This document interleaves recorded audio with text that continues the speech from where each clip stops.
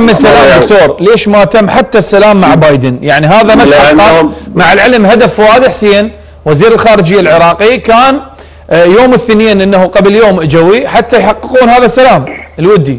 أنا أنا أقول لك إياها. يعني يتحمل بشكل مباشر. أنا لا يعني أميل لك شخصنا وزير الخارجية والبعثه الدبلوماسيه تتحمل ما وقع به السوداني من خطأ كبير بصراحة.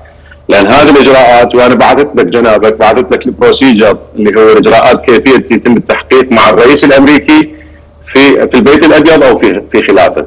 بايندر شفته جنابك وأنا داعم على ترجمته الآن.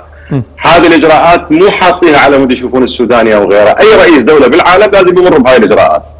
وهذه الإجراءات يبدو أنه يعني الفاعل الدبلوماسي ما اشتغل عليها. هسه اللي ليش اللي يعني ما سلم عليه راح أقول لك ليش؟ لأن أيوه. اولا بايدن تحت ضغوط كبيرة جدا. ضغوط لم يشهدها أي رئيس أمريكي سابق حتى أكثر من الضغوط على ترامب. طيب يعني صارت عليه من لأنه بدأت من حزبه الآن. داخل الحزب الديمقراطي اكو توجهين، أول يريده بعد ما يرشح والثاني الحقيقة ده يوافق على مسألة الإزاحة اللي بدوها الجمهوريين إنه يزيحوا الرئيس من المكتب البيضاوي.